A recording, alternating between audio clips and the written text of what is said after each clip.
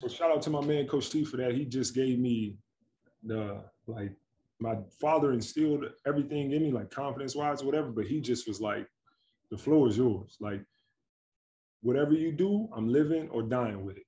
And once we had that understanding, my game went from here to just took off. Just touched down, back on road. Counting money, man, you know how it goes. Hit the VIP and tell my bitch to strike a pose. Hop in mode, hop in mode.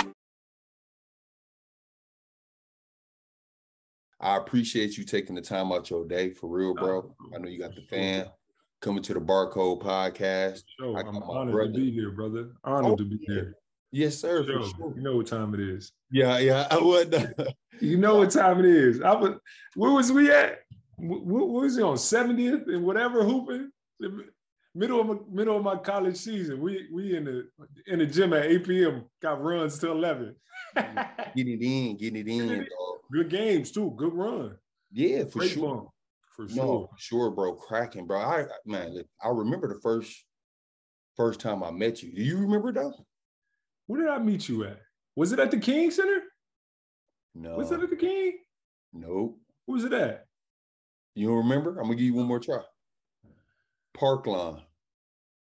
Right.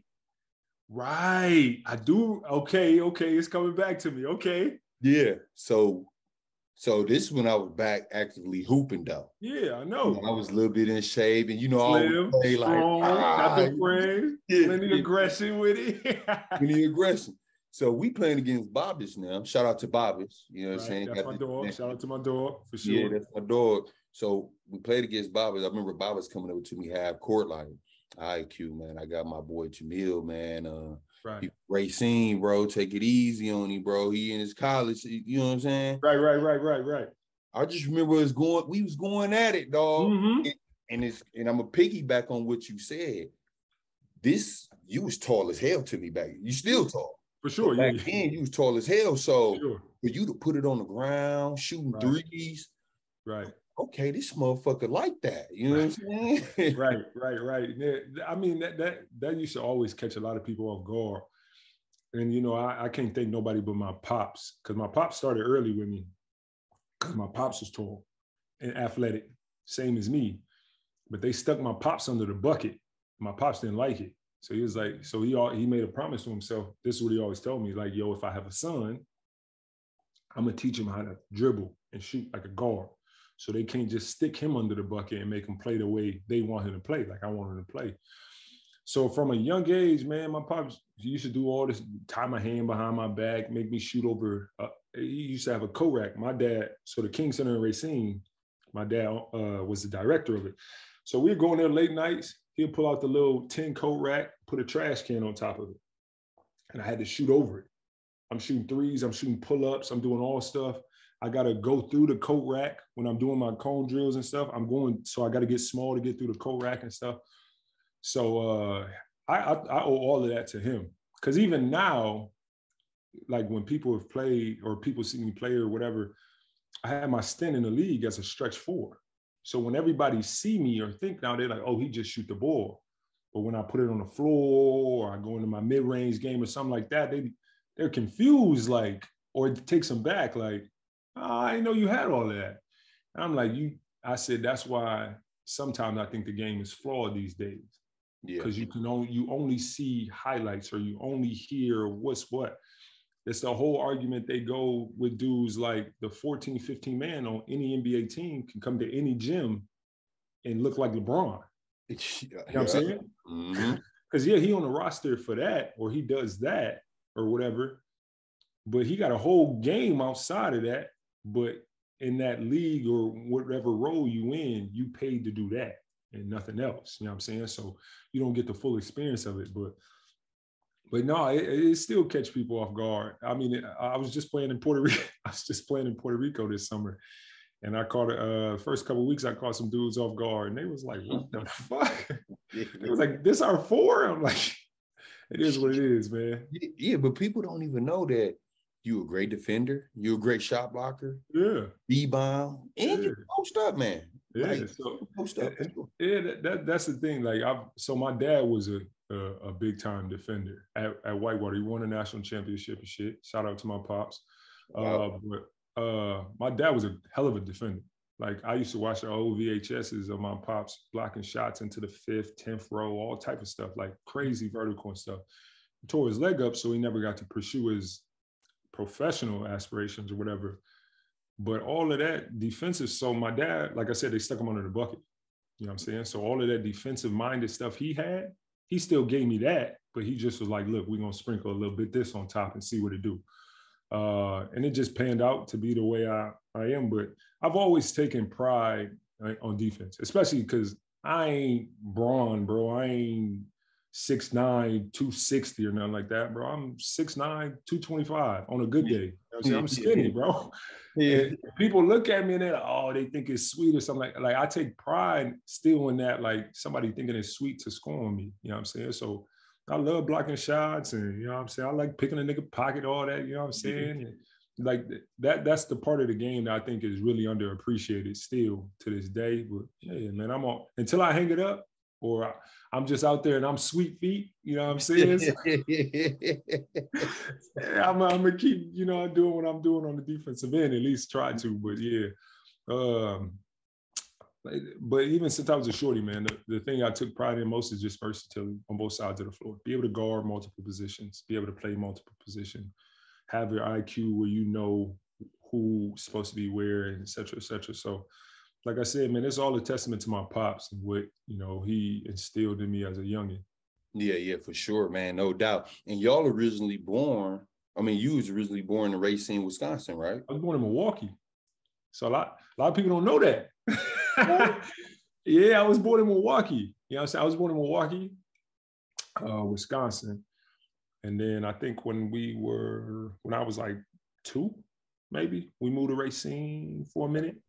And then my dad's people is from Jamaica. So we had our little stint over there or whatever and, and, and whatnot, or his people moved over here and whatever. But I was I was born in Milwaukee. My mom is from Milwaukee. My mom, yeah, my mom went to Rufus King.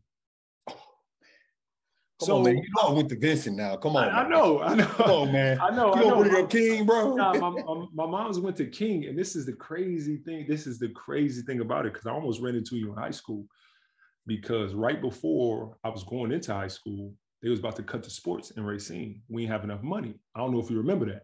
They was about to cut all like the sports and certain whatever. So they was about to cut the sports. I was about to move with my grandma and go to King. Hold on, you know I'm. Hold on. I was either gonna go. I was either gonna go to King because my mom went to King, or I was gonna go to Pius.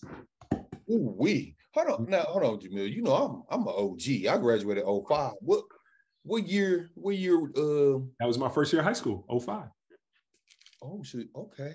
Okay. Mm-hmm. Mm-hmm. So if you would have went to King, we would have had to rough you up, dog. Come on, man. It wouldn't have been sweet, but you know what I'm saying? We would have done our fair share of roughing each other up. For sure. But no, I uh I was probably like a two-week decision away from going to King or Pius. Man, that's dope. That would have Yeah. been dope, bro. That Crazy. been dope. So But I So- mean, at that point, I was spending most of my summers in Milwaukee anyway, because I was with B and them. I was with the Running Rebels. yeah. So I already had Johnny was trying to get me to go to Bayview and all. I'm like, man, you know what I'm saying? Him and Bikes was over there. Uh, Yeah. So it would That would have been a whip. That would have been we- a whip. yes, but I mean, it came through and we had sports, so I ended up staying. But yeah, I was like two weeks away from jumping ship and going to Milwaukee. Man, okay, yeah, that's that's dope. That would have been a nice thing to see. So Sure. you stayed in race. So you stayed in Racine. Go to Racine Horlick. right? All right. So y'all have sports now. Yep. Did you play varsity out gate your freshman year, or you got to work your way up? I mean, obviously now the youngins now have a whole different type of buzz. So you know who's what what. But you know, I had a buzz going in to high school. You know what I'm saying? But the coach that was there was like, uh, now I'm gonna make him earn it. He gonna start on the freshman floor first. So I started in the back of the bleachers on the little clay track floor. I was there for like a day during tryouts. Then he moved to me to the JV, which was right across from varsity, kind of the same. Mm-hmm. And I he just stuck me at JV. He was like, all right, like I see it, but I'm not moving you up to varsity. You're gonna play on JV your freshman year. Me, I'm like, all right, whatever. You know what I'm saying? I still think I'm that dude. Like, Mm-hmm. I'm that guy. Like, I need to be on varsity, but I ain't tripping. You know what I'm saying? All right, earn your stripes kind of thing. So the day before the first game, one senior gets caught doing something. I think a drunk got like a ticket, drunk, like got a ticket, or the party he was drinking got a ticket. So the, the coach sat him down for like a couple games. He called me up that game. Rest was history. And this is when you were a freshman. Freshman. Yeah. It was like the day before the game. He called me out of like my third period, the day of the game, or something like that. Called me out of like my third period. I went and talked to him. He's like, all right, you can suit up for JV, but you probably won't play. Like, Oh. fuck, what you mean I'm not gonna play? Like, it's me. Like, what, what are you talking about? I'm the guy on this team. Like this. He was like, so so and so got a a, a, a violation, a ticket or whatever. So I'm gonna sit him the first three games. We're gonna call you up to play. All right, cool. I went up there, started, Started. started right away, didn't look back. Didn't look back. Nope, didn't look back. So it, and then it went from him kind of trying to go a different way with the offense and how he wanted to play to by mid-season, it was I was the center of it. And Yeah. went from there. We just built from there. Yeah, yeah. And the position you played when you was a freshman, did he stick you under the rim, or this is when stretch force was? This was this was when like he, to be honest with you, so we had it, we had it. we had two good point guards, Andy Cohill, Daryl Clark. We had a we had two good wings, Marcus Ward, David David Lojeski. So that was like our two and a three. So I played the four, and then we had a five man. I forget his name. Trying to trying to think, but we had a five. So I was like the four. So I, so he pretty much just let me rock out at the four. You know what I'm saying? And then it was good for me because anything that happened or whatever, he was like, oh, like freshman mistake, whatever. You know what I'm saying? So I'm trying to experiment and do stuff. And if something goes wrong, he's like, ah, freshman, whatever. You know what I'm saying? He's not tripping and spazzing out on me. So that gave me a lot of room to grow and a ton of confidence. Mhm. You know what I'm saying? Because I'm like, what? I just turned it over and then missed a crazy shot. I ain't get pulled. All right, cool. Like I.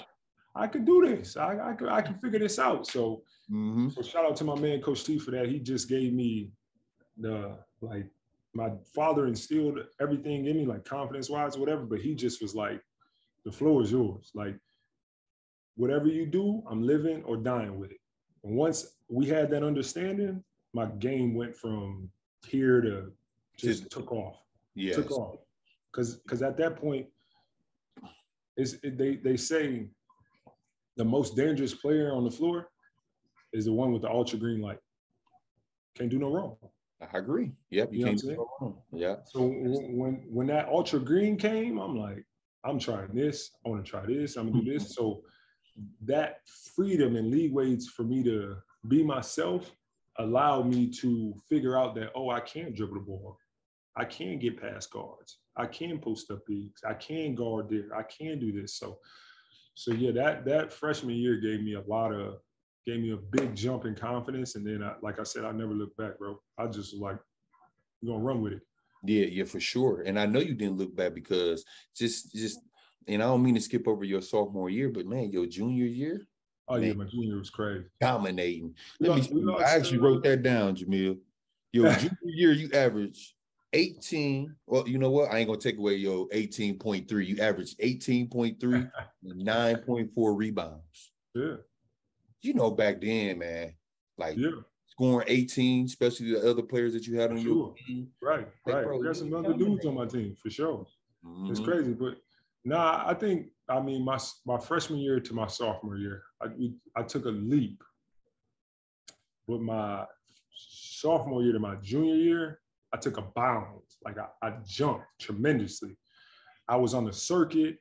I was ranked top in the country. So like other dudes was like running at me. Like I walk in the gym, yo, that's Jamil Wilson. He got offers from here, this, that. So now the thing that I used to do with Lacey, me and Johnny, we used to walk in the gym, AU circuits, and be like, yo, that's so and so from Oklahoma's finest. That's so and so from the Gauchos. That's so and so from Houston, whatever. You know what I'm saying? Indiana Elite. Like when we see them, we popping them. Now it's reversed. Oh, when we Jamil Wilson, this, that, Johnny Lacey, Luke Russell, Theodis Ewell, and when we see them, we popping them. Yeah.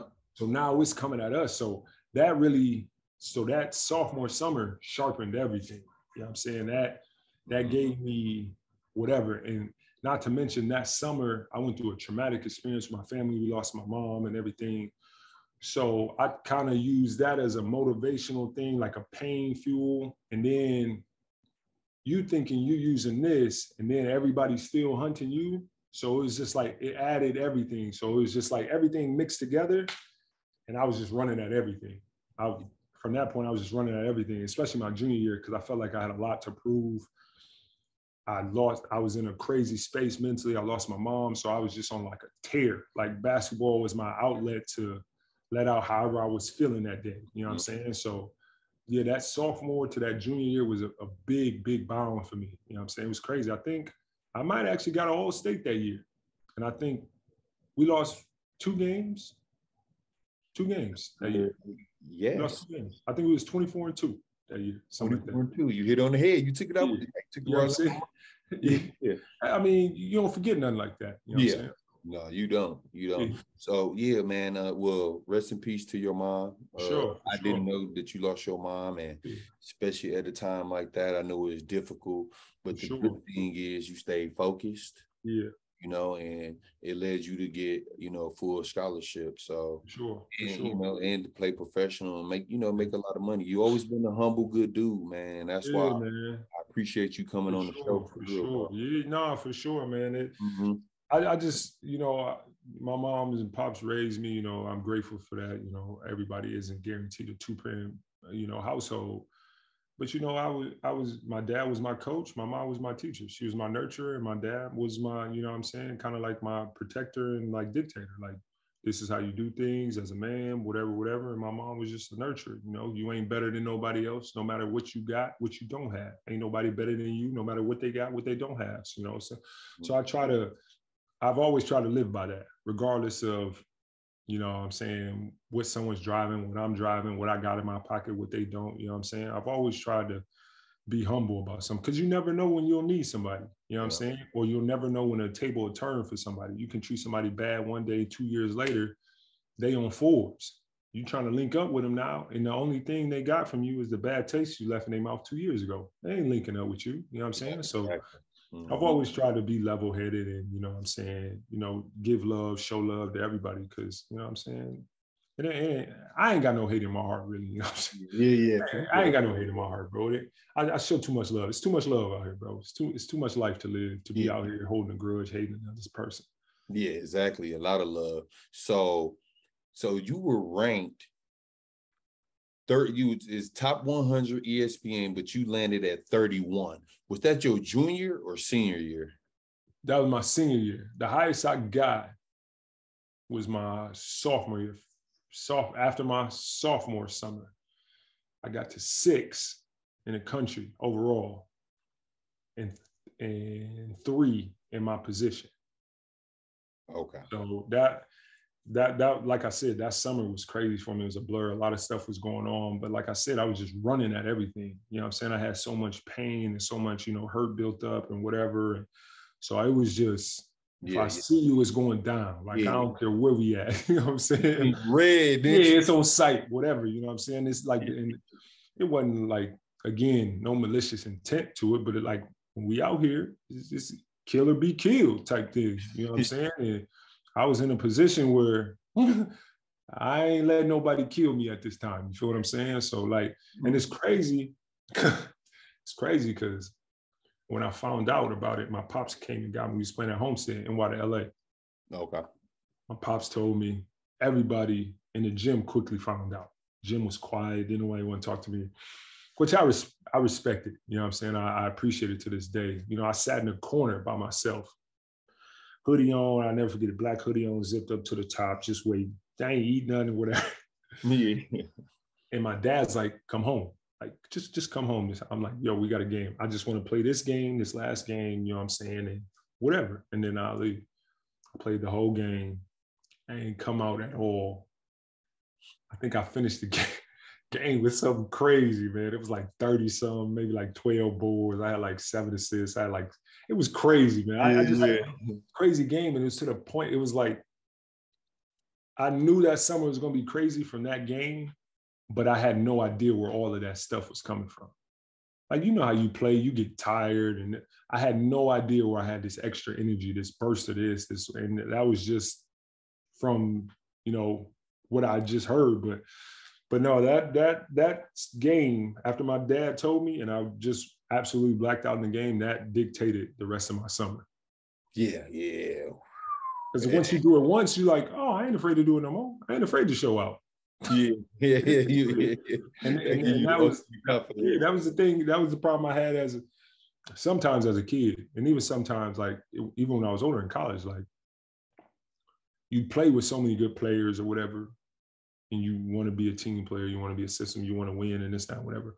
So sometimes you find yourself taking a step back and not shining as bright as you can. But then other games, you're just like, nah, bruh, nah, I can really do this. Like, you know what I'm saying? So, uh, but yeah, it, it was crazy. That summer was crazy.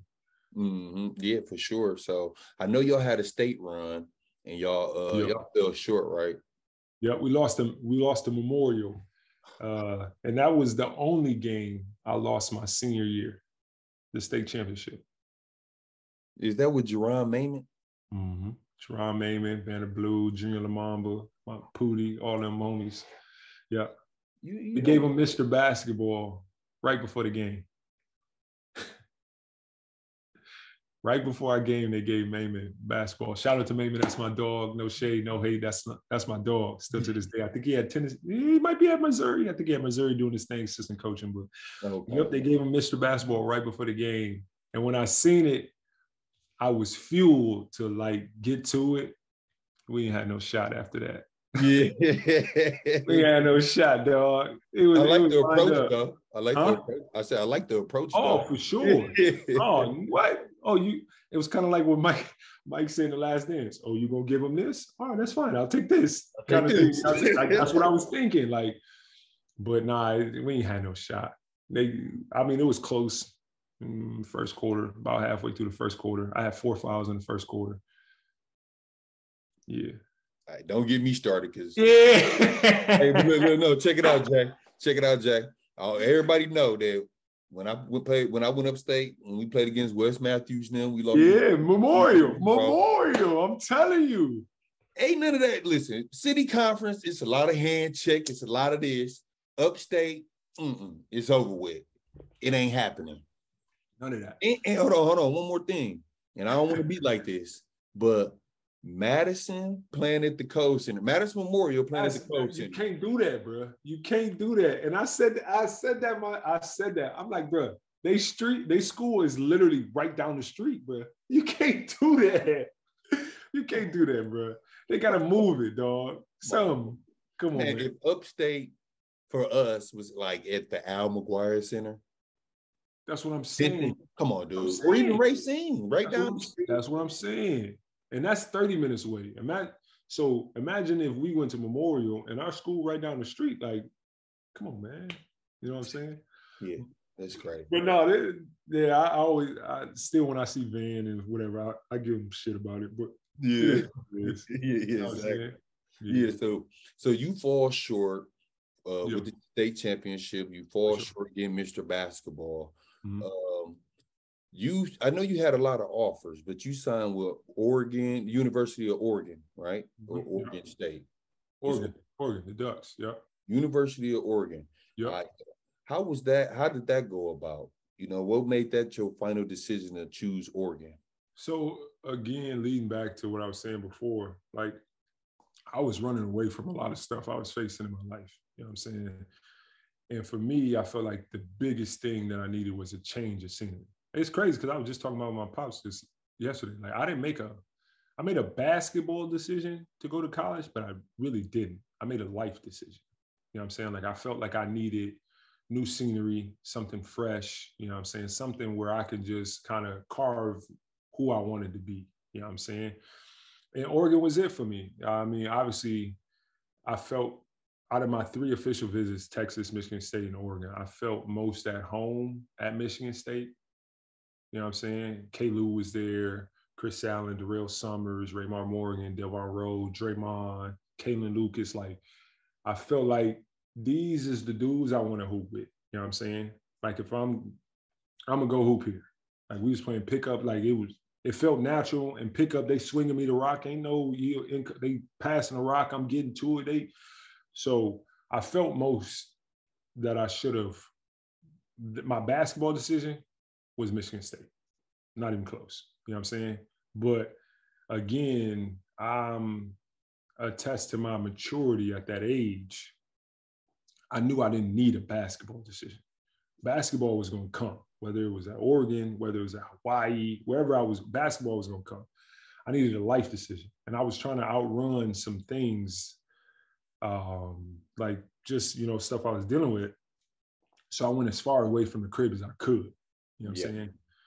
And that was good for me. I was telling my pops, like, that was good for me like getting out there, the scenery, the green, the, you know what I'm saying, the people, this, that, and whatever, the environment, that was good for me.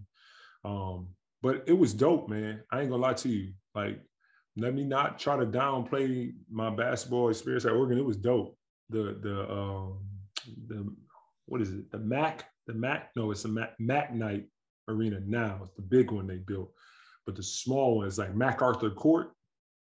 Man, we would play Washington, USC, UCLA and they used to they told me and i thought they was they was like they was uh, bullshitting me. They would be like yo they have to be on the pa system when other teams are shooting free throws because it gets so loud the basket shake. I thought i thought they was bullshitting. Yeah yeah yeah. Our first games was on the road washington washington state washington we come home we play arizona arizona state i think first free throw. Bruh, I'm on the bench at this time because I, I, wasn't starting right away. I'm on the bench, first free throw, bruh. Go up there to shoot it. They get to yelling. The backboard just doing this. I'm like, yo, what the It's live in there. It's cracking, dead cracking. I'm like, yo, what is this? Yo, I'm tripping out. And sure enough, the homie come over the PA system student section, this, that, and whatever, the basket shaking. Boo, they throw boo, oh, they throwing stuff crazy. I was like, that's crazy. So obviously they they pick it up, this, that, whatever.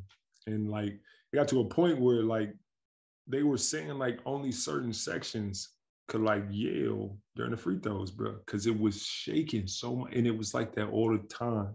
Like I'll never forget when we played Washington so this one, IT there, Quincy Pondexter. Uh, who else was there? Oh, big homie, I'm forgetting his name. Damn. But what Washington had a whip, had a whip with IT at the head of it. Yeah.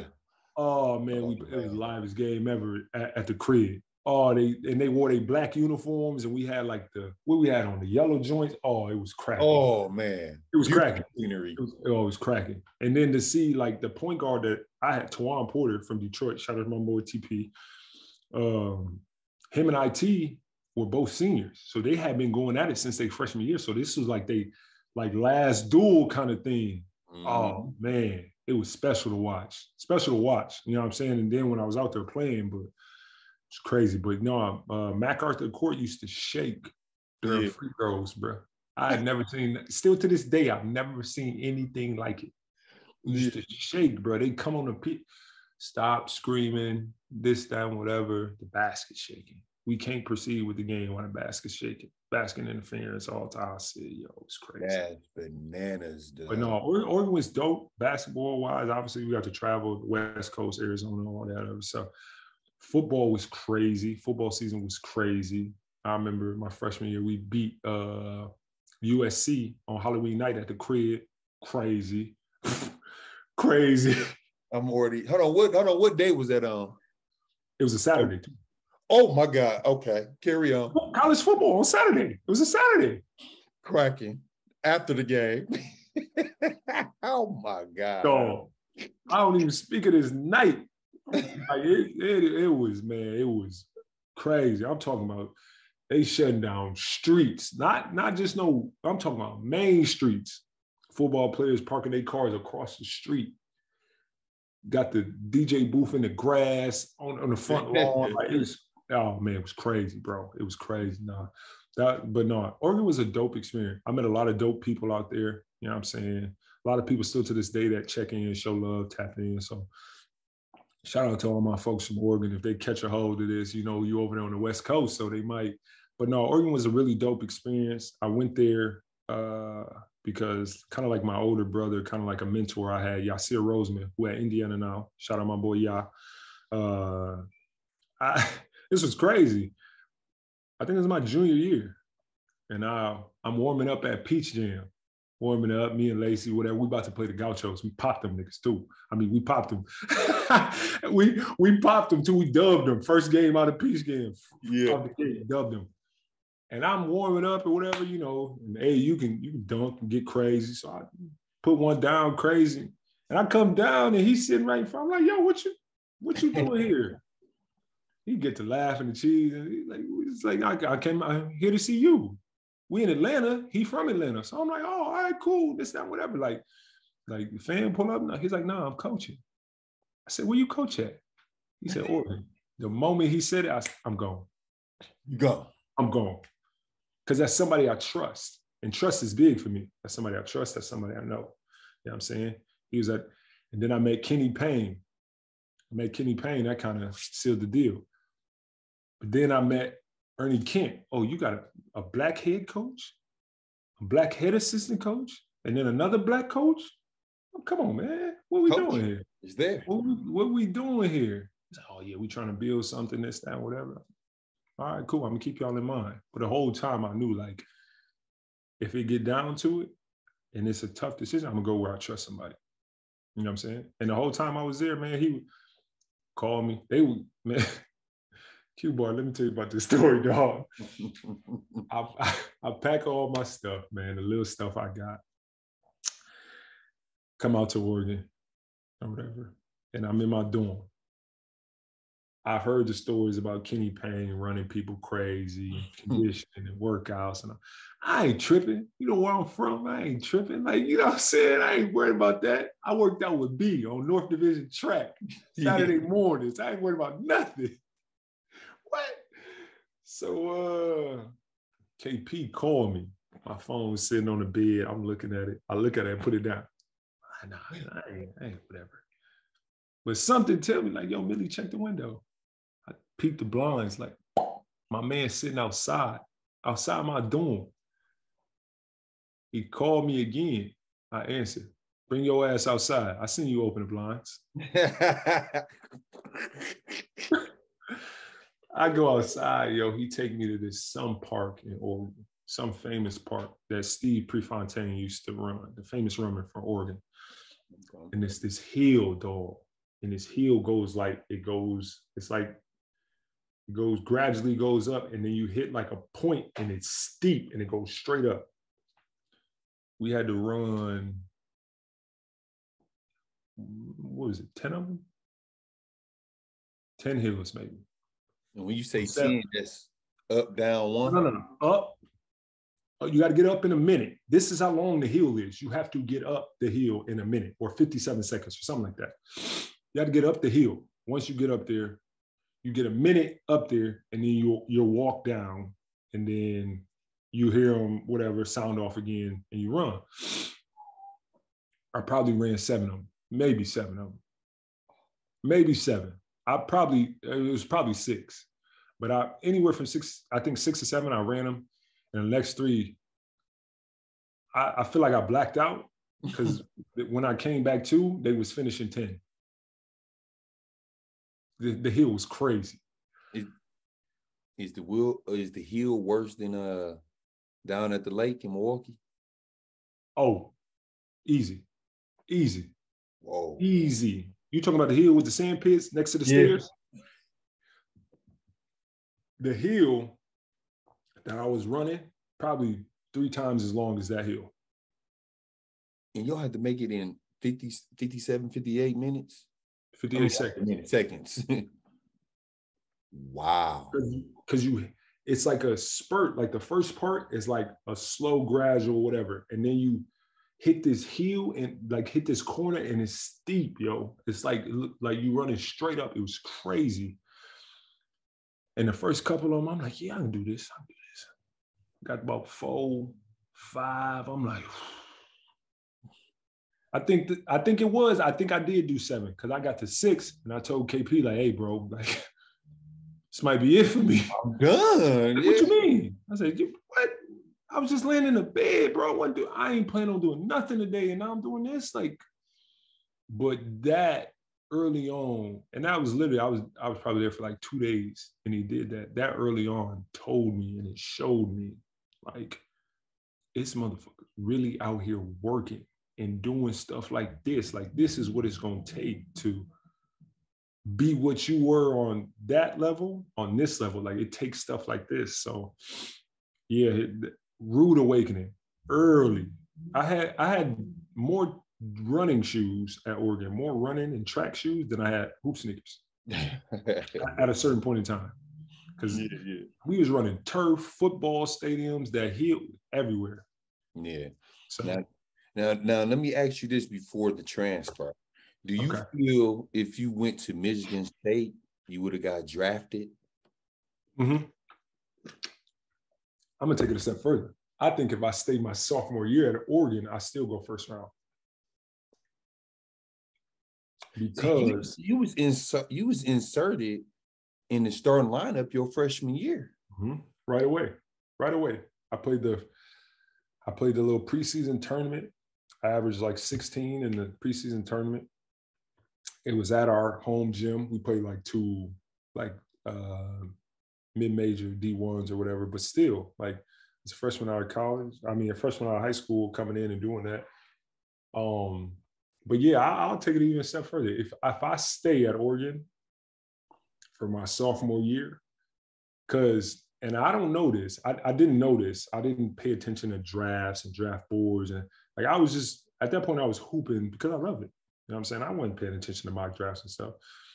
But Baba, shout out my boy Baba, he was always in my ear, like, yo, you 30 on the mock right now.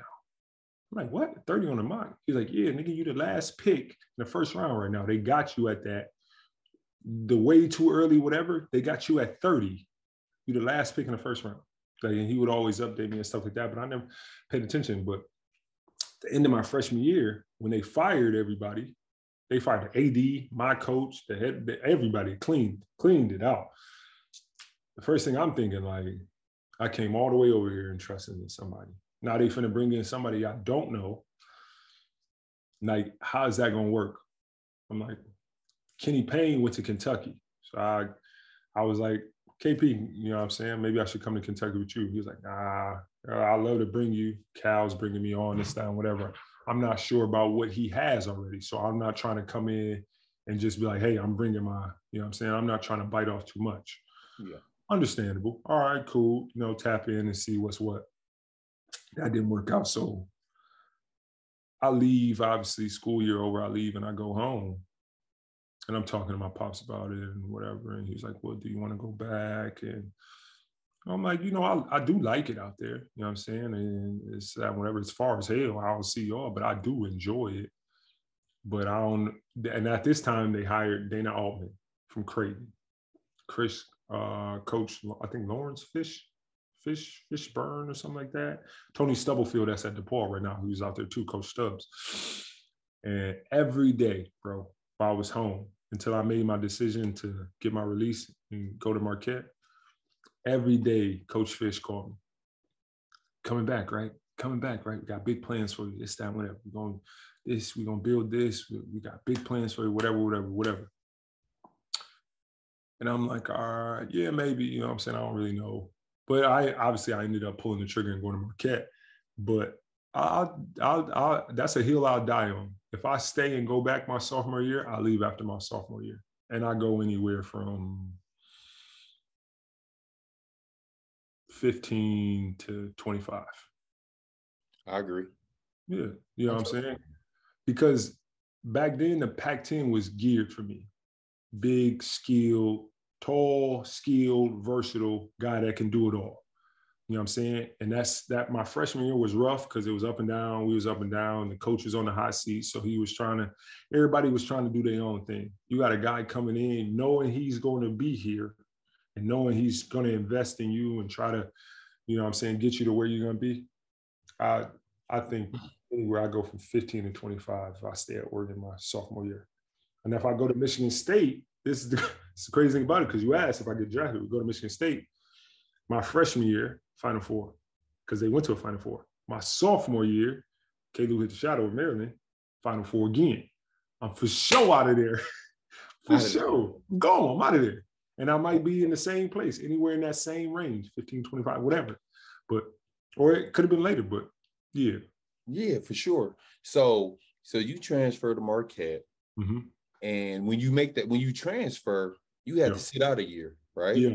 Yeah, yeah, yeah, yeah. Uh, what's going through your head then? Now like you, you went into Oregon, you go through that situation. You went to a school that you trusted the program, the coach, right, right, right. everything. So you transfer, and now Mhm. you got to sit out a year. What's your what's your mind frame at now? You know what I'm saying? Oh, I didn't know, honestly, I didn't know what I was getting myself into. You know, we had a um, kind of had like an OG. She was a hooper from Racine.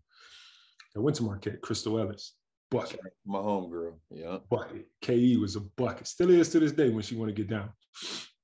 So she was kind of like my OG, and she was like one of the people I talked to when I was going there. And she was like, "This is the thing she told me. This is the only thing she told me, Q-Bar." She was like, "Here, we work, we we play hard, but we work harder."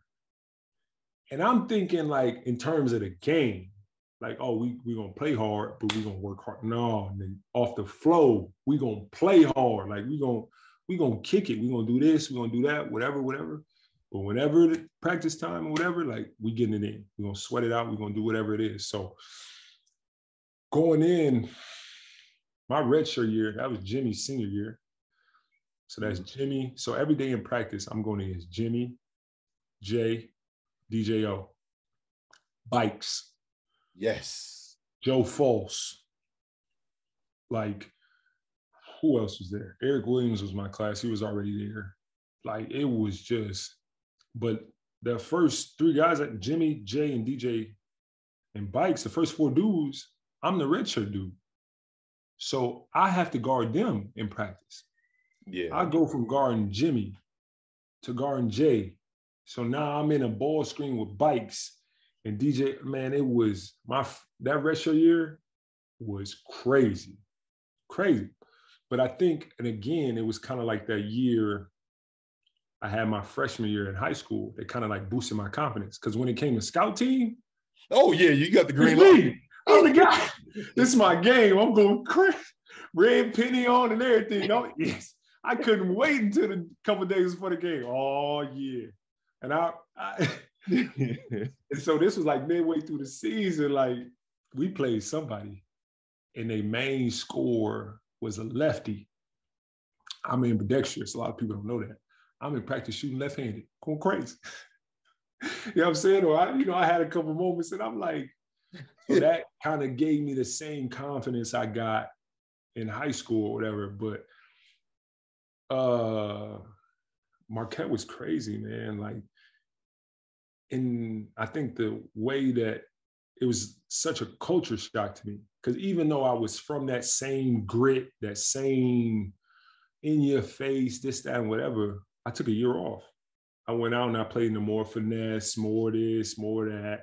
So I'm trying to bring the new what I learned back, and it's like, nah, none of that, champ. Like, mm, elbow in your. Nah, I'm like, oh, all right. So I, it kind of allowed me to blend what I took from there, what I always had. So, no, Marquette was a crazy experience because, like, right off the bat, like the first day, I was like two minutes late because I didn't know where I was going to class. Oh man. Coach was waiting for me. Late Wilson. Got to be better than that. See you at five in the morning. Excuse me? See you at five in the morning. Five miles. Five in the morning. Five at five. I'm like, dog, you can't be serious. Sure enough, he texts me at 4:30. Wilson, hope you're on your way to the gym. Brad Archie, shout out my boy Brad Archie. He was my guy, chief. But no, uh, and so it was such a culture shock. It's like, I mean, at Oregon, they was checking classes and whatever, but the first day, boom, you know what I'm saying? And then you do individual workouts. Everybody in the city know about boot camp. Boot camp had me questioning whether I made the right decision or not, Q-Bar. I ain't even gonna lie to you, and I'm doing all this and I can't play. Oh, yeah, yeah. Did I make the right decision here? Like, why am I here? Oh, yeah. so, uh, like, nah. So, but, not, but Marquette gave me what I needed. That was my basketball decision. So I made a life decision first, and then my basketball decision came. So, like I said, basketball was gonna come regardless of whatever. But I feel like I did the right thing. I feel like I should have left after my junior year, but I mean that's that's another story. But it is what it is. Yep. So going into yeah, I agree with you though. So going into Marquette that red that red shirt year, how was you and Buzz Williams uh relationship? So me and Buzz always had like uh it was like a different relationship because Buzz is used to like hard nosed dudes, tough dudes, or whatever. Not to say that I'm not, but like dudes are just like if he's like, yo, run through that wall, dudes are just gonna run through the wall. Where he tell me like, yo, Jamil, run through the wall. I'm like, well, it's a door right there, so I'm just go through the door. yeah, yeah. You know what I'm mm-hmm. saying? Like, so I was that guy that was like, nah, I'm gonna use my head. Like, I ain't finna just blindly walk it. So we would bump heads about that a lot, but he loved that about me because it was like it was like a love hate thing because he knew I would hold other people accountable. You know what I'm saying? Like, oh, you're not doing right, or oh, this, that, whatever. I still remember my uh my senior year, just fast forward, was in practice and was hooping and this, that, and whatever, we doing a drill. And the freshmen are on defense. And you know, you gotta get a couple stops and you don't get off defense or whatever. And I still remember him yelling in the freshman face, like, and you know, Buzz used to dip, he spit all whatever. He's screaming. And he's like, this motherfucker is trying to eat. He trying to feed his motherfucking family, like going crazy. Like he going. This what he he do this every day like going crazy. And like that kind of that moment there kind of like smoothed our relationship over. You know what I'm saying? Even though it was love, hate the whole time, I love Buzz off the floor. He loved me off the floor. But on the floor, we would always clash because again, like I'm gonna figure out a different way to do the same thing. So um, but that moment kind of like smoothed our relationship over because it let me know that he appreciated how I went about things, even if he didn't say it all the time. So, but uh, our relationship was cool. It was like I said, it was love hate, but it was always love there. Still to this day, I love Buzz. I follow him on Twitter. He texts me sometimes, this, that, whatever. You know, I seen him at Davante's wedding a couple years ago. We chop it up, but no, it's always love. He's he's one of the most genuine people I, have I've met when it comes to the game of basketball. Yeah. Because not only is it about ball for him, he he legitimately tries to better you as a young man. You know what I'm yeah. saying? Like he, I remember he had dudes learning checkbooks, how to tie ties and all this other stuff. And then at the same time, it's like, like I said before, a lot of people ain't blessed with a two-parent household. I was. My pops taught me how to tie a tie. My mom's taught me how to balance a checkbook. So we doing all this stuff, and I'm just sitting there. So it was just like he couldn't connect with me the same way he would connect with other dudes because he teaching these other dudes real life life lessons like stuff somebody didn't teach them before me i'm like i, I know how to do this you know what i'm saying so there was that but other than that it was all, always love between us he would always just make fun of me and try to call me soft and whatever yeah. you so want to be finesse and cute I get it done more. you know what I'm saying? so, but no, it's, it's, always been love with uh, my guy. But going in, I, I definitely had to prove myself. Yeah. And one of the first things he said to me, he took a bottle, just drinking like a Gatorade or something. And he was like, This bottle is you. My dad's sitting right next to me. This bottle is you.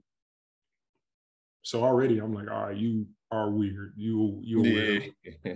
this bottle is you. He said, you know what I'm gonna do every day? Yeah, basically. He's like, you know what I'm gonna do every day? I'm like, what? Smack them all. I look at my dad.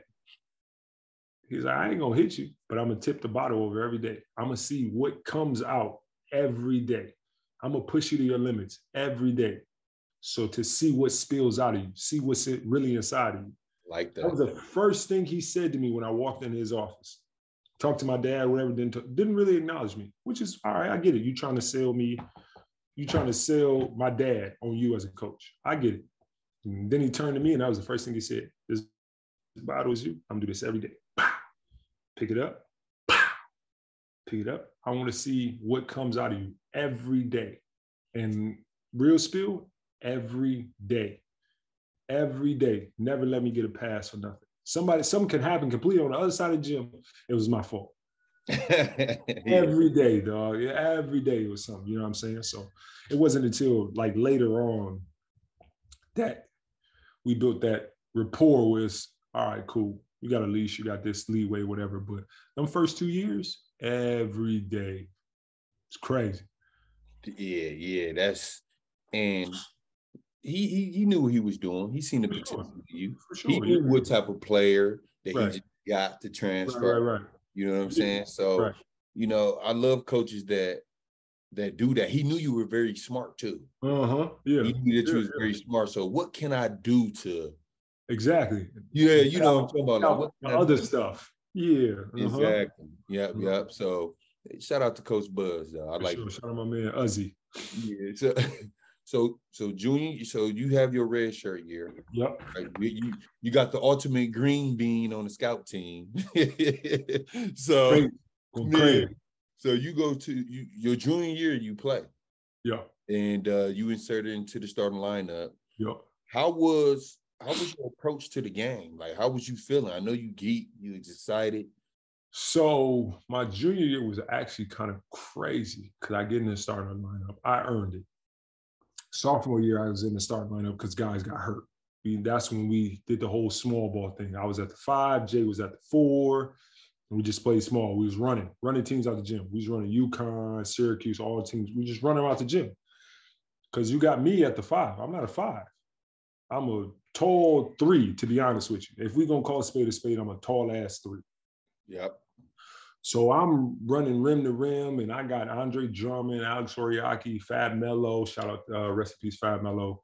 I got all these uh, Henry Sims, uh, Yancey Gates, like all these true five, big fives chasing me, and they can't. I'm running out ball screens. I'm slipping out doing this. Like it's hard to keep up. So that was my sophomore year. So going into my junior year, I started at the four. Jae was leaving.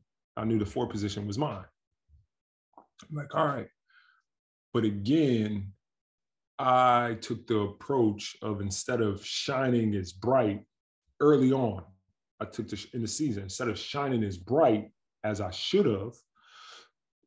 Let's get everybody involved. Let's do this. Let's try to control the game. And it was terrible for me. I was having games eight points, six points, whatever.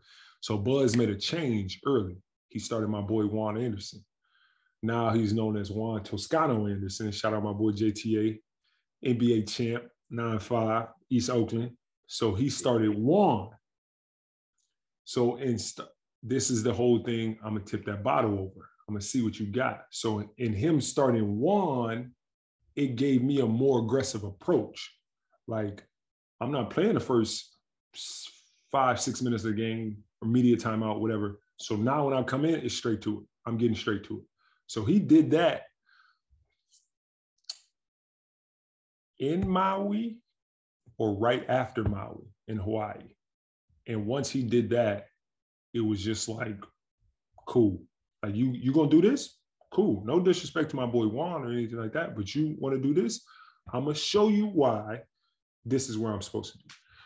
So then it, it just changed my whole season. Like it changed my whole season. Um, like I, I played with the aggression and whatever that didn't have. I mean, I'm running at Notre Dame, Cincinnati, Cuse, UConn, like Mm-hmm. USF, like to the point like where we partying on dudes. Like we up 15, 20, we partying, going crazy. We got Van on the wing, Junior, Derek in the back, Warren, Trent Lockett was there with us. We had Big Tay, who in Japan going crazy. Uh, we had Chris, like we had a team that was like however you want to play it, we we we can throw it. We got two true fives. We can throw it down to the post. It was me at the stretch four and with Juan. So you can get it that way. That Van and who else was on the wing with us? Damn, forgetting. Damn, slipped my mind. Jake Thomas, shooter from St. Cat's, white boy. Shout out my boy Jake. He got his own little uh, thing going on with like uh not construction factories or something like that, but he's doing big things. But him, so Jake and it was ended up starting. Our starters was Junior, Jake, Van, Juan, and Devon. Juan and Chris. Me and Davante would come in together. And I watched Tay his whole career. Tay just came in and scored. I'm like, shit, we coming in together, Tay. We coming in and do the same thing now. so like I said, it added a whole different approach to it. Like, all right, I'm coming in to this, this, damn, whatever. So uh so my junior year was like really eye-opening for me too, because it was like no matter who you are or what people know about you, like you got to prove it. Like you got to show it every night, every whatever. So when Buzz made that change, he really clicked that into me. So like, so again, he knew what it was, and he fi- figured finally figured it out. Like, oh, okay, this is gonna do it. Like, oh, I'm gonna tip it over this way, and this is gonna do it. Like, giving someone else what he feels he deserves, type deal. So, yeah, exactly. yeah. But no, it, it was crazy.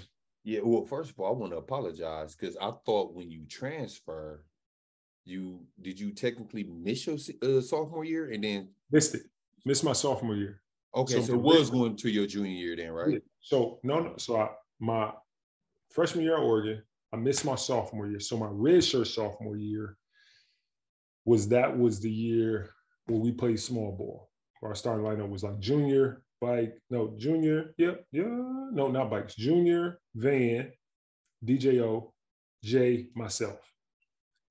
Chris Otule tore his ACL that year, and Davante dislocated his knee. Got you. Okay. So we was literally playing with like six or seven people. And like, but we was just running cats. Like it yeah. is what it was. And then we ran into Florida in the tournament, and Brad Beal was on a whole different, No, know, he was on a whole different level. Like he yeah. gave he gave niggas exactly what they was looking for that day. And that's how it is sometimes. Like you just run into somebody and even at the rec or whatever, like sometimes you just run into somebody and no matter what, like it's just day day. And it was just his day that day. Mm-hmm. Um, and that's when they had it was him, Bradley Beal, Scotty Wilbekin, Michael Frazier, Erik Murphy, Patrick Young, big ass, like Casey Prather. Like they they had some dudes down there, you know what I'm saying? Um, so then my redshirt junior year was technically my senior year was the year all that stuff happened. I was just talking about was uh, Buzz pulled me from the starting line up, and I'm like, all right, cool. Like, okay, you gonna so me this? Mixed up, my yeah, yeah, yeah. But I mean, yeah, for sure. Yeah. So, so the NCAA tournament, right? I'm gonna ask you this. So we know I know the NCAA tournament cracking. You know what I'm saying? Every time. I remember you saying earlier that Oregon was cracking. Which experience was like cracking harder for you? The NCAA tournament, your first game, or Oregon? I would say, I would. I mean, I would say the NCAA tournament, and only because it's not just like one. You get to see your fan base travel you get to see another fan base you didn't ever think you was going to run into. So my first tournament game, we play in Louisville. We play Murray State. Okay. And I'm like, it's a lot of big blue fans in here because Kentucky got the one seed, obviously. A lot of big blue fans in here. I see, but Marquette and Murray State got the same colors, yellow and navy blue. Mm-hmm. I see our fans. I kind of see they fans, and then you got the occasional red in there because Louisville. All right, whatever. And I'm thinking, because I think you Kentucky played after us. They played either after us. No, they played after us because you know big blue fans is. And the gym was so fucking loud. They was rooting against us. I'm like, what's going on? So I think midway through the game, I tapped like uh the assistant coach. I think Jamie McNeely. Shout out my boy Uncle Earl. I'm like, yo, Uncle Earl, where Murray State at, bro? Like, it's, it's right down the road. It's like 30 minutes down, whatever. I said, it's in Kentucky? he said, yeah, it's, it's right down the joint.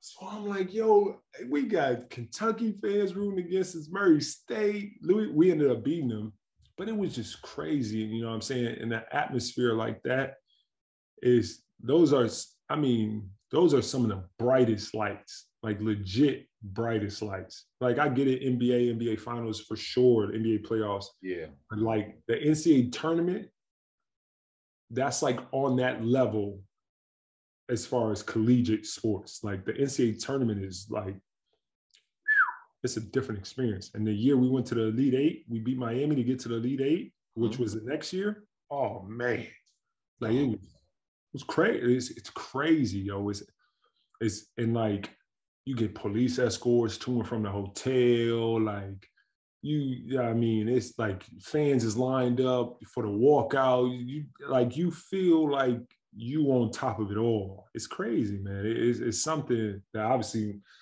when knucklehead get to a certain age, I'm gonna tell him about and you know want him to experience. But it is definitely crazy, man. It's nothing like March Madness. Yeah, March Madness is crazy, and y'all boys was on fire, man. I remember watching that, dude. I can't remember like the order of the teams. Yeah. I'm like, I don't know why it was, but every like February will roll around, like midway through February, March, we would just get on heater. And it's crazy because we would always lose like in the second round of the Big East tournament. Even when we won the Big East champion regular regular season joint, I think we still lost in the second or first round in the Big East tournament. But once that bid came in for us to be in the NCAA tournament, oh, it was we was getting to the Sweet 16.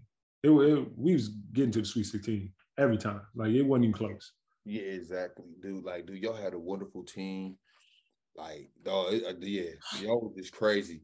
Cause you know, Marquette, when D Wade was there, made it to you know, Travis Rob Jack. Yeah. They made it to the final four and yeah, stuff. Sure. But at that time, Bucks haven't won anything. Mm-hmm, know, mm-hmm. know, the Badgers. Yeah.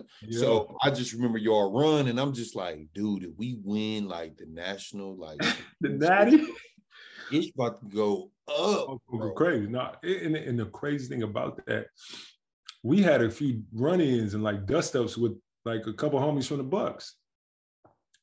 Cause like we because you know, obviously we shared the Bradley, we shared the Bradley Center. Yeah. And I don't remember who said it, but somebody, somebody from our, our our team told one of them niggas like, "We keep your lights on. Y'all ain't selling no tickets." That was facts back then, bro. It was, and it was crazy because then after that, like you know what I'm saying? They they looked at us different. They had whatever. But I mean, it was all love. But yeah, yeah. You know I mean? They it was great, like, cause you wouldn't expect somebody to just randomly say, like, what? We keep your lights on, brother. We sell out our we we selling this joint out. You know what I'm saying? Not your yeah. But no, um, I, I thought about that and I think about it all the all the time. That Elite Eight game to get to the final four we went into halftime against Syracuse, and we had just played Syracuse a couple weeks before that on Big Monday, and we beat them at the crib. We went into halftime 25, 21, or 23, something like that. We was either down two points or four points or something like that. And we were gassed. We had just played, not the day before, but like two days ago, and we played Miami. And we gave Miami everything they was looking for we smoked Miami. You know what I'm saying? We gave them everything they was looking for. And we came out versus Q, uh, Cuse, and the only one, only person that could really buy a shot was Davante. I wasn't hitting. Van wasn't hitting. Junior couldn't get none to roll. Trent couldn't get none to roll. Like, only person was Tay. He was keeping us in the game. Like I said, we went to halftime, four points. And I still remember being in a half in the, in the locker room and looking around, and dudes were just gassed exhausted, just looking for something to try and, you know what I'm saying? Just, yeah, just like, damn, like yeah. legs heavy, whatever. And we couldn't find, we was 20 minutes away from a Final Four. 20 minutes, dog. And it's crazy. We was 20 minutes away from it. But they, yeah, they ended up beating us. But, but no, March Madness was hands down one of my best experiences in college. Oh, yeah. I mean, I'm already Yeah, and that's that's the ultimate goal when you're in college. man. For sure, for sure, for Try sure. to win the national championship. right, right, right, right. Even though y'all fell short, man, just you able to tell your young, you know, your kids and your, you know, your son the Right. experience to just Yeah, for sure. playing For sure. Right. Right. Get you, get you. And and the crazy thing about it, my pops used to always tell me, like, because he, like I said, my pops won a national championship at Whitewater, and he always be like, yo, get you one of these. Go get you one of these. Like, go, you know what I'm saying? So that was always, yeah. So that was always my thing. He was like, go get you one of these. Like, you know what I'm saying? So that was always to try and get there. And, you know, they got the banners in Marquette. 1977 was last year they won it. And it was just like to, if you bring a banner here, like you're immortalized, brother. Like you can stop playing the day after y'all win it. You are immortalized. You probably can eat for free on Marquette campus for however long, however bad it get. You go there and you get a meal. You know what I'm saying, or whatever. But but yeah, that was always that, that was one of the obviously uh, you know not everyone does it, but that was definitely one of the things I want to do. Bring a championship to the crib.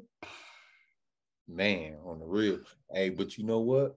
Even though y'all fell short, I think you still can go to the campus now and get some free. Oh, for sure. Yeah, I go up there and get down. They, they- but that's the thing, man. They show love, man. Marquette is they show love, man. Even when we do the little summer tournament thing, little TBT thing, yo, they show oh. mad love. Like this year, they gave us backpack, duffel bag full of gear.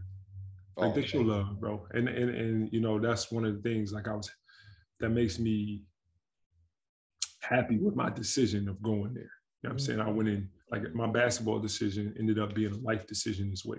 Yeah, I'm yeah. saying this family and the, the bonds that I got with them dudes, like the same dudes I came in with, I talk to them dudes every couple days or whatever. We all got a little group text and tap in, where you at, what you doing. So yeah. Yeah, yeah, that's dope. All right, sure. so yeah, so you you get your degree at Marquette University. Yep. Um, what teams did you work out with? Because hold on, is it workout first, then summer league? Yeah. It's workout first then summer league. So I had 16 workouts. Shit. I only did 12. I missed Milwaukee, Detroit, and Chicago because I Milwaukee dog. Come on, man. so I was I had so this is this was my workout schedule. I I don't, I don't forget stuff like this. I'm got weird memory or whatever. So my workout schedule went. Um, my first one was Phoenix. I left Phoenix. I went to Utah. I was supposed to leave Utah and go Milwaukee, Detroit, Chicago. In Utah, we're playing. I rolled my ankle bad on CJ Fair's foot from Syracuse. From Syracuse, yeah. So yeah. immediately, I can't I can't really finish the workout. I'm trying. I look bad, so I just bow out. So from there, I fly right back to Florida, where I was working out at. So I missed like those three, and then I missed one more that I ended up making up. So from there, then I went Indiana, I went Toronto, I went Detroit, I went Houston. Uh, Houston. From Houston, I went to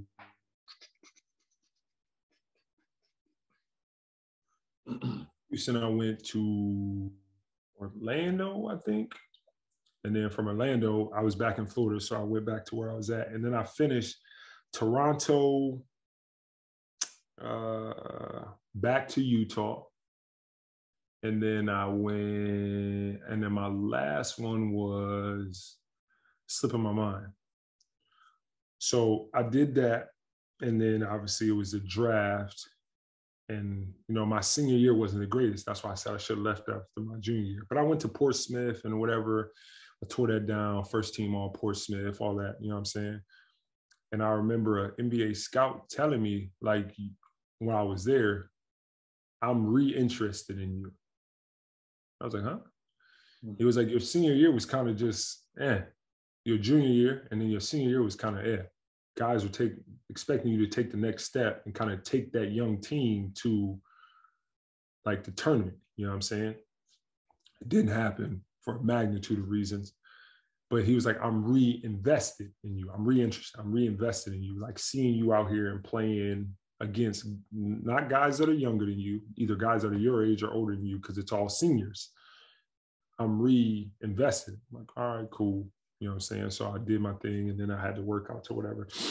And um, I think leading up to the draft, my agent, he was telling me Toronto has got a pick at 52 that uh it was Toronto at 52, and then there was someone else at like 48 or 49. It was like these are two spots that you could arguably like whatever.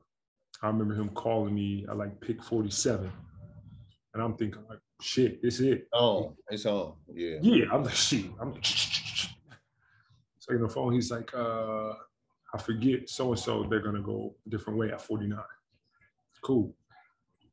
So I'm like 52. He's like, Toronto really likes you. You had a really good workout there, this, that, whatever. I'm working out with like Clint Capela. I don't Clint Capela. Fine. I, so um, whatever. Um, I'm gonna work out. I had my best, like, so I did all the pre-draft stuff there. Like Toronto makes you do it there because whatever. So I had like my verse, my best vertical test. It was like 44 or 43 on the vertical joint. I was running one leg, got it. I think I did like 18 reps of 185. Like I had like my, I don't know what the fuck was in the breakfast at whatever, but I had my best workout there. So I'm thinking like 52 is it. And I love Toronto. I was there for a week. I'm at the front office. I did all everything because you know you gotta cross the border and do all the other stuff. So your workout is my workout was like a day, but I was there for like four days. You know what I'm saying? So I'm walking around, you know, Junior Cadougan from Canada. So I linked up with him and his homies. Like we kicking it. We had dinner and stuff. So I'm like, you know what? This this could be it. This could be home, and I'm cool here. Like this is like this this is cool. Like it's away from whatever, but it's not too far. Like Toronto, really across the border. Really, like I can still get you know the crib and whatever. Eastern Conference, Chicago, Milwaukee, Indiana, like oh, yeah. Detroit. My people can get to all of them. Cool. And I remember him calling me right before that one, like they're gonna take the kid from UConn, DeAndre Daniels. And I'm like, What? And so they ended up taking him. And then obviously I went undrafted. But yep, I, I remember all that, man. June 26, 2014. That was a draft. Yeah, yeah, man. And did that did that kind of hurt your spirit? You know, uh not being drafted. Oh yeah, for sure. Because anytime you feel like you're capable or qualified for something and it doesn't happen, you feel like you've been shorted. So of course I felt that way. You know what I'm saying? I felt like I was better than a lot of dudes that was taking the draft. I still feel like I'm better than a lot of dudes in the NBA now. That's just me. Yeah. Um, so so when that happened, yeah, I was, you know, I was upset, but I immediately, like I took the time to take myself out of it and thank everybody that came to the little watch party. Thank you guys for coming. Obviously, the night didn't go the way we wanted it to, but we're gonna make a way. We're gonna find a way this time, whatever. But Mm. yeah, man, it, it hurt a lot. Cause you know, as a kid, you you always see people up there shake the commissioner hand, put the hat on. Even though I wasn't there, the phone call, you know, they zoom in and you know they know whatever. But yeah, that that hurt. But again, it's just like you know, sink or swim at this point. You're gonna quit or you're gonna keep pushing. So Exactly. it wasn't nothing, but just added to the fuel. Yeah, yeah, exactly. So you took that energy like you've been doing your freshman year, Yeah, yeah, for sure, at Racine Horlick, and then Right. how you did at Marquette. for sure. Yeah, I know you took that energy and went crazy overseas. We just gonna go with it. Yeah. Yeah, you went crazy overseas, man. And Yeah. what was the uh what was the country you went to when you uh when you were undrafted? I went so my first year I started in the G League, and then my second year I went to try it with the Mavericks again. I was the last cut. I was a G League again, but then I'm like, man, at that point, I'm like, man, I've been under the NBA radar for two years. I ain't going none. I'm leaving. So I went to Italy. The first half of the season, I struggled away from home by myself, this, that, whatever. Um, and uh, I got to go home for a week and it just kind of like replenished my soul. I went back, second half of the season, I went on a tear. Just went on a tear. And it was at one point in time, I was the only American that wasn't hurt.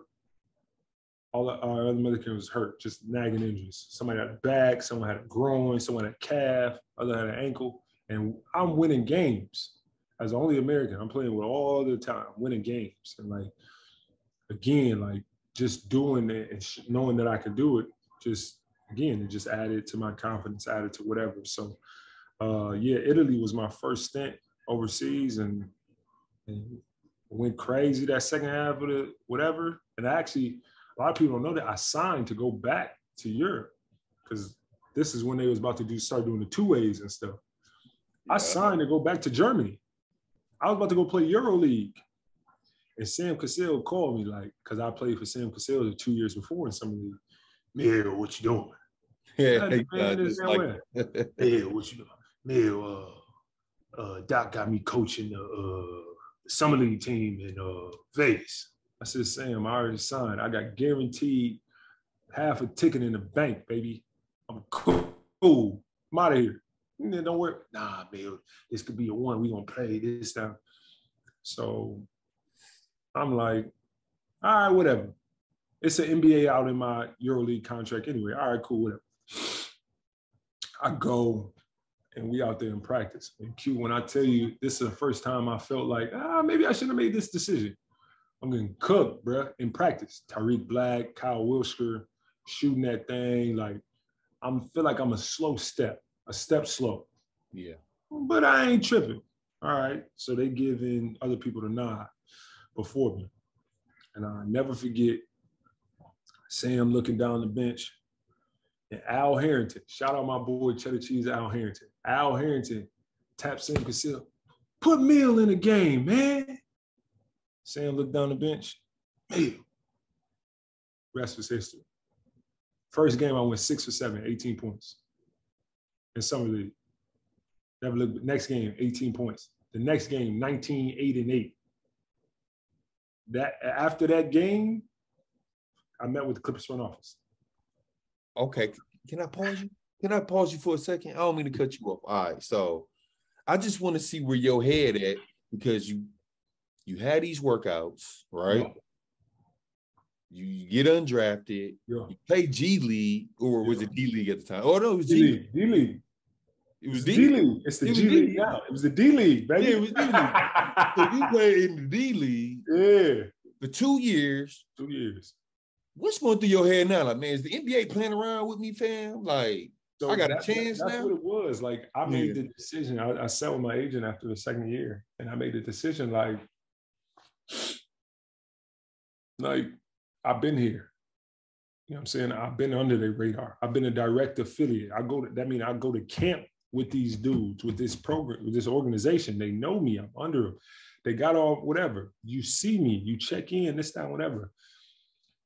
And my agent was like, look, you can try it again or you can go make some real money. Me, I'm thinking I'm, what am I, 24 at the time, 25? I'm like, I'm finna go make some money, dog. You ain't finna catch me over here sweating for 30, 40 bands. Like, nah, bro, I'm finna go make some money. So I left. And then full circle, it come back. I'm in summer league and I'm meeting with the front office.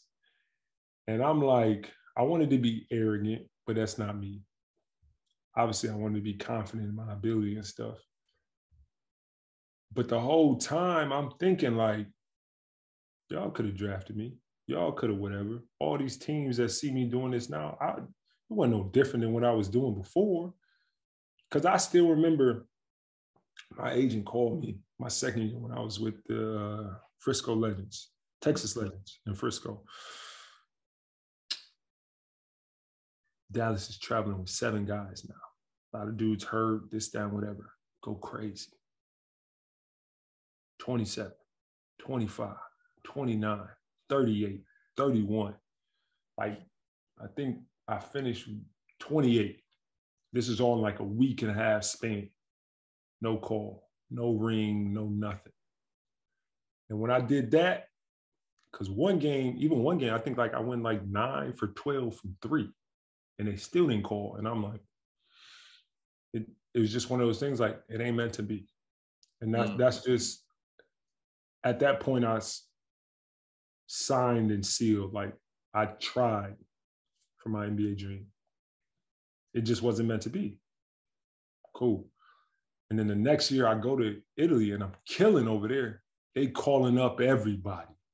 Like three dudes got called up from the team I just left in Texas. I'm like, what the? I'm, you know what I'm saying? I'm like, dude. So then again, it reaffirmed what I said. It just wasn't meant to be. Maybe you're just supposed to be over here going crazy. You know what I'm saying? And there's nothing wrong with that. I try to tell young fellas now that, like, bro, you can make a great life playing over there and come back. Like you might not be able to buy six Bentleys, but you can get one for sure. Don't don't get me wrong. Sure. You know what I'm saying? So uh so I'm like, all right, maybe it wasn't meant to be. So then obviously, like I said, full circle, we come back and I'm meeting with the Clippers about signing a two-way contract. The coach from Germany, from my EuroLeague team, flew to Vegas to meet with me, to talk about it. Like, I know this is your dream and I know this is what you want to do, and whatever you sign with us, you made a commitment to us. Obviously, you have an out, all this other stuff. He was like, but what they're trying to give you, Andrea Trinchieri, Italian dude. He goes, what they're trying to give you is below your worth. Come play with me for a year. I'll get you guaranteed whatever. I'm thinking, all right, cool, you know, whatever, but it's not guaranteed that this year goes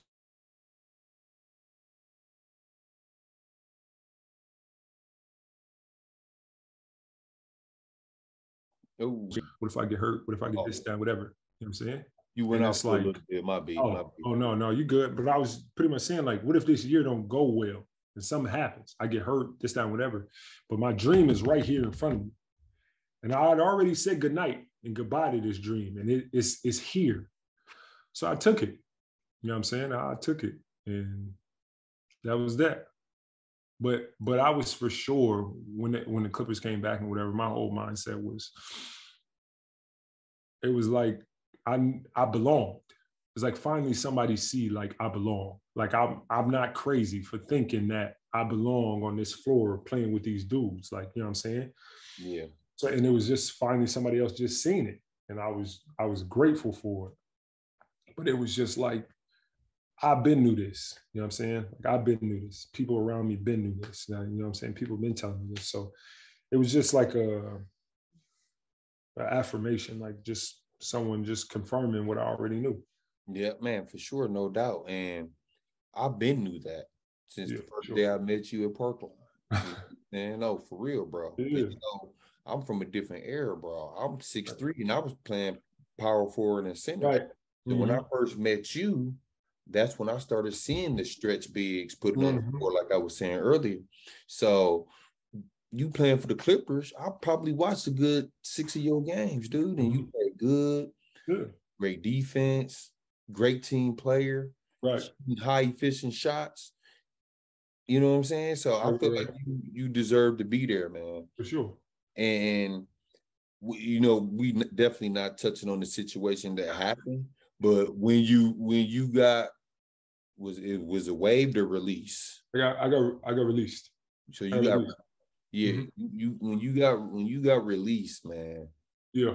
What's what's going through your head now, Jay? Because it's like the NBA was like, yeah, you know what I'm saying? It, like, you know what I'm saying? I, like in and out. Released, I wasn't tripping.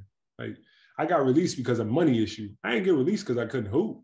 I got released because it was a money issue. They had just signed Blake to a crazy contract, gave Gallo a crazy contract. They gave Lou some money, gave Pat some money. DJ had just got some money out. Like they had no wiggle room to sign nobody. So basically, they let me go. They released me, and they signed another guy to a two-way contract. Because now it's like you can play up to 70 games and be on your two-way contract. When I first started, it was only 45 days you can be with the team. So you can be with the team a month and a half. And after that 45th day, they have to decide whether they're going to keep you on a regular roster or just send you back down to the D League. And at that point, I was playing so well, it made no sense for me to go back down to the D League. So I already knew, like, it was crazy because DJ told me, DeAndre Jordan told me, like one of the last couple days I was there, he was like, bro, you might as well just pack your shit up and move down the hallway. I'm like, what you talking about? We was in Staples Center. He's like, yeah, bro. As soon as we let you go, the Lakers is gonna sign you. I already know. Like it was already whatever. So I already knew. My agent had a jersey before when still when I was with the Clippers. My agent had a jersey and everything. My agent was asking me like, "Yo, what jersey number you want with the Lakers?" Like it was signed, still delivered. Like I was gone. I was late show. But then obviously the incident happened with the young lady, which was completely left field and yeah. all out or whatever. And like I said, I mean, it's a touchy subject for some. And a lot of people always ask me, like, why you never released a statement about it or this, that, whatever. Because I felt like it was a gift and a, and a curse. Or the curse, obviously, it took my dream away to play at that level. But it was a gift because I was surrounded by a lot of stuff and a lot of people that weren't good for me. You know what I'm saying? So with that happening, like everybody's like, oh, he's this or he got this or whatever, whatever. So they just kind of scattered. But the truth of the matter was it was never true. You know what yeah. I'm saying? Like I got the paperwork and whatever to prove it, but like I never, because I've never been that person to, I need to prove myself to somebody else. Exactly. Yeah. If you know, you know. If you don't know and you got an opinion, cool. Everybody entitled to it. I'm not. I'm not worried about you know what the next person is thinking or whatever. So, um, but no, that's what it was. So when I got released, I wasn't even tripping because I was playing so well. Oh, come on, man! You was playing. I was at, I was averaging like nine points, which is crazy. I was averaging like nine points, maybe like three or four rebounds, but I was playing limited minutes. But I was shooting 44% from the trade. So I knew like somebody gonna pick me up. I don't know who, but somebody. So when I got released, I really wasn't tripping. Like, like, all right, at some point, somebody's gonna pick me up. You go in and you do the exact same thing you did here. Prove yourself, whatever, this time, whatever, from day one. Go in there, do what you do. Um, so when I got released, I wasn't tripping. I just knew it was a matter of time before I got signed. It just so happened that bullshit came out or whatever and derailed everything. But I when I got released, I knew I was signing somewhere else.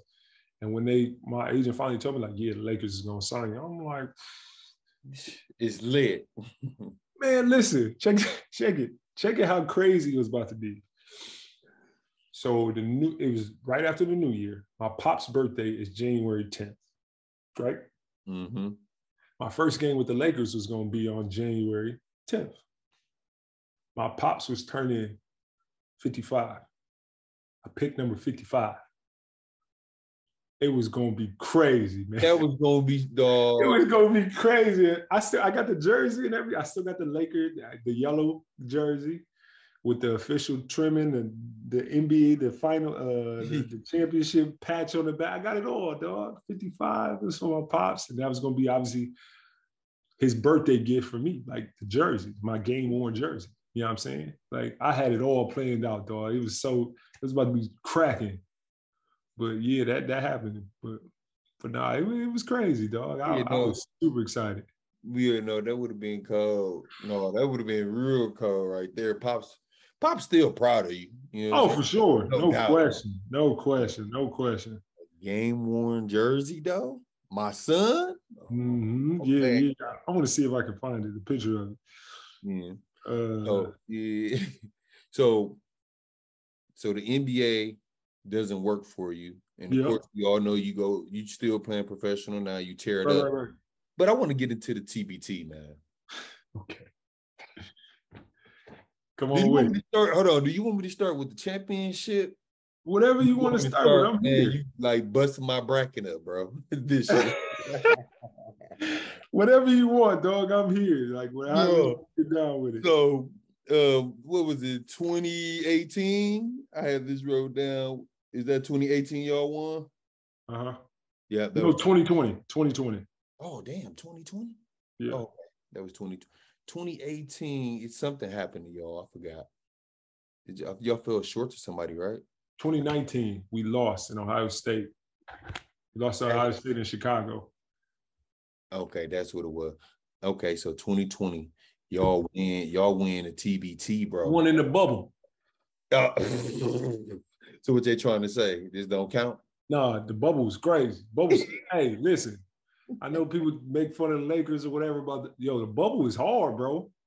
Bubble hard. You like it was literally they had gates around the hotel. Like you could leave and go outside, but it was like tables to sit around or whatever.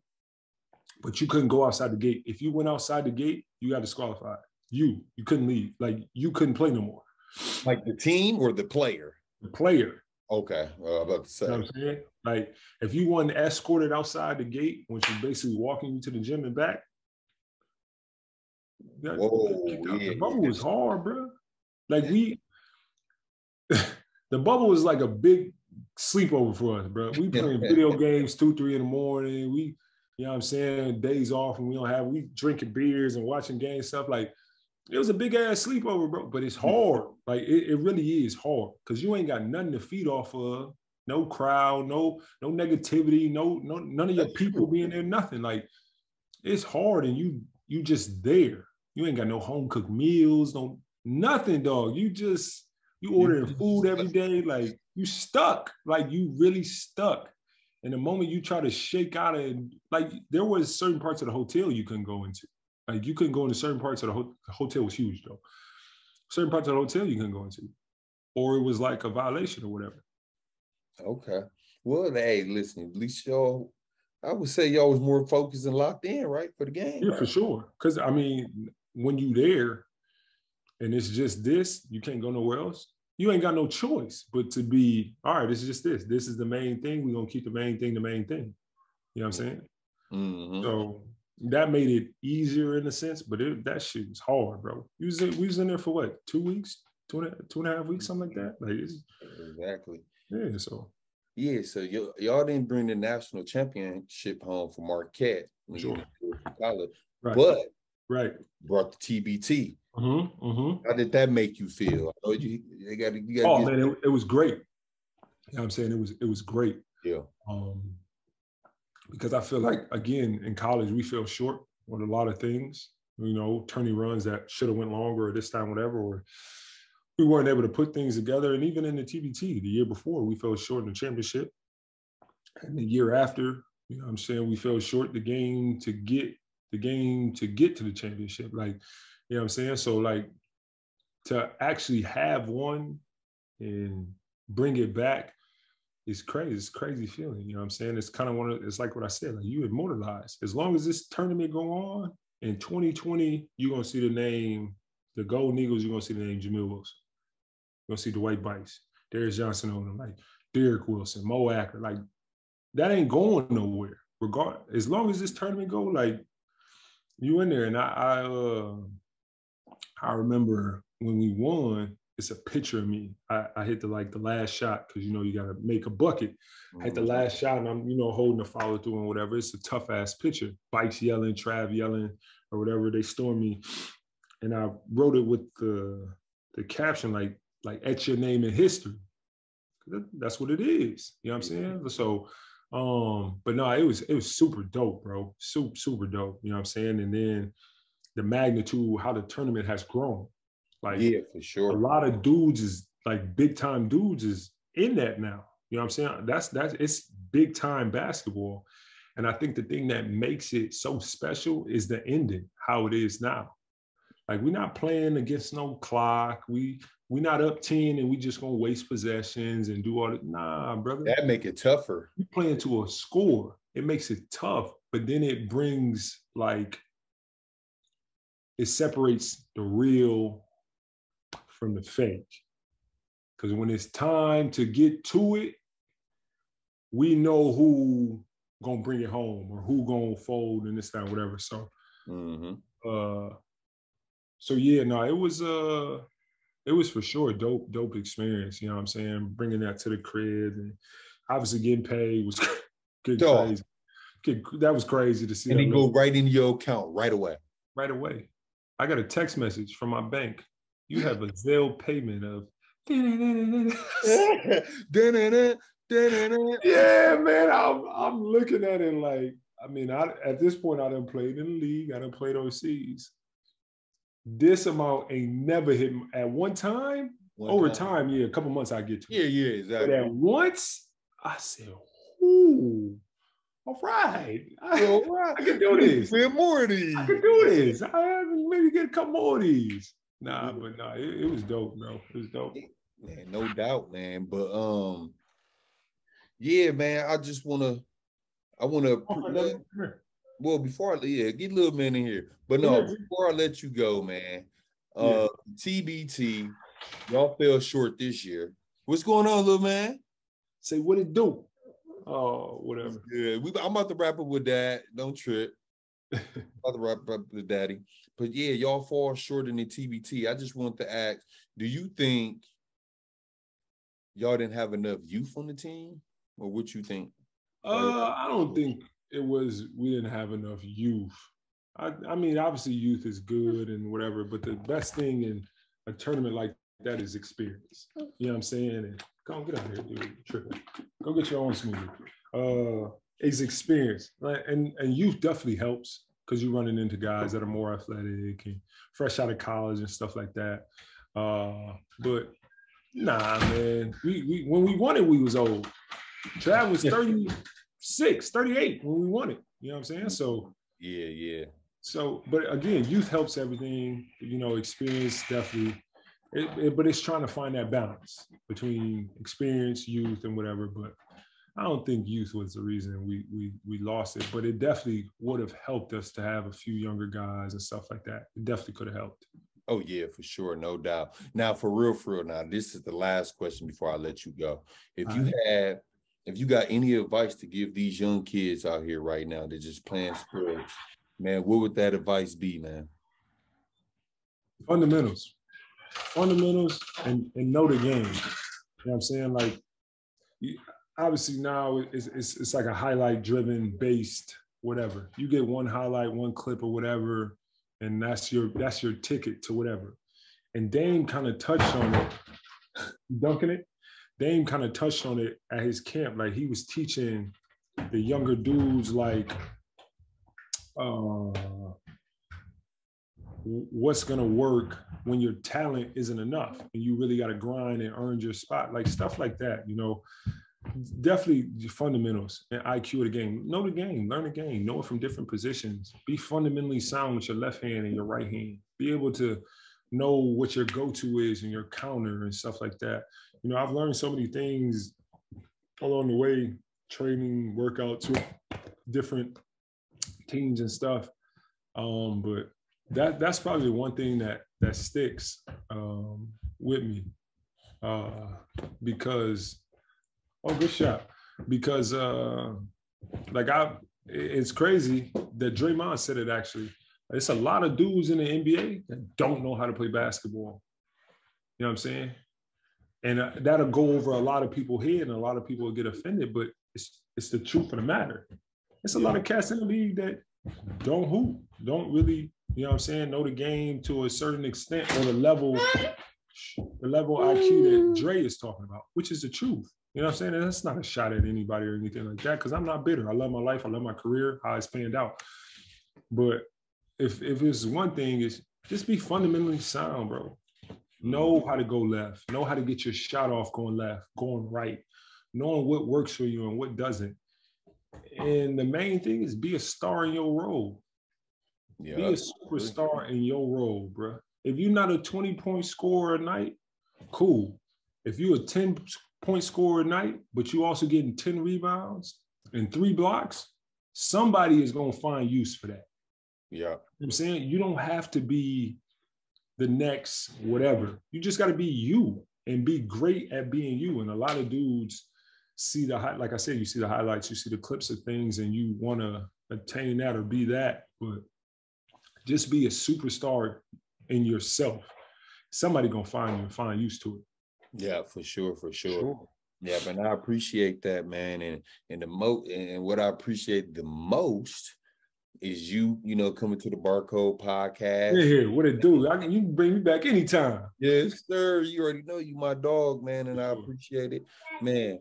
Former NBA player, for sure, for the uh, for the Clippers, Marquette alumni, sure, for sure, champion, and, and top top league overseas sure. professional, sure. man. My boy Jamil Wilson, man. Sure. I appreciate you, dog. I appreciate you having me, bro. It's always love, Q-Bar. It's always love. Anytime, every time. Yeah, yeah, for sure. So you already know we gonna we gonna uh, stay in contact, and you might sure. have to see me some gear, man. They give y'all gear like that, man. Let me know, bro. Let me know. Let me know.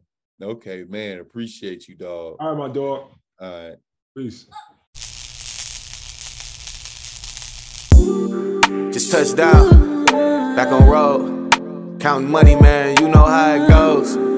Hit the VIP and tell my bitch to strike a pose. Hop in mode. Hop in mode. How the uh, conditioning test go? Conditioning test was crazy. I so so how it went, I think I ain't passed it the first two days because I was I was that new like stretch four kind of thing. So, you know, for every position, they had a certain time you got to make. You know what I'm saying? So I think guards had to do so many touches in three minutes. I think it was like 29. Okay. Bigs, it was like depending on like weight and size, whatever. It was like I think 25 or 24, something like that. But then it was like that wing section, and then they call me a big or whatever. So I was in that wing side. I think it was like 28 or 27 touches in three minutes. So on a normal court, that's cool or whatever. But with that ele- you add that elevation to it. First two days, I didn't get it. And they kept telling me, like, until you pass it, like it is what it is. Like, you know what I'm saying? Like you can't really be into anything anyway. And I remember Markieff Morris walking up to me, like, look, Rook, whatever you do, pass it today. However, you got to get yourself through. If you got to kill yourself to cross the line, do it. It was like the third day, I and I think I it was probably like 15 seconds left, and I was probably on like touch 20. I was about to get 25, so I had to get down and back in 15 seconds. And now you thinking like that ain't shit. Yeah, but that's after running for two minutes and whatever straight elevation up, whatever. So uh I ended up making it. Like I had to like jump, throw myself across the line or whatever. I ended up making it, but uh nah, it, it was it was a beast, bro. Yeah. it was a beast. Yeah, yeah, it was a beast. It was a beast. See, that's why I stopped hooping uh in college, man. You know what I'm saying? Just man, that's rough, dog. What's going on? Yeah, what's, what's going on? What it do?